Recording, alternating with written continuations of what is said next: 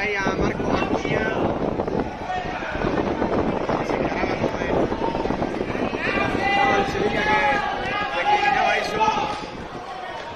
Bueno, mientras sigue el partido en el Jesús Navas. Parece que la noticia ahora mismo está más para allá que para acá.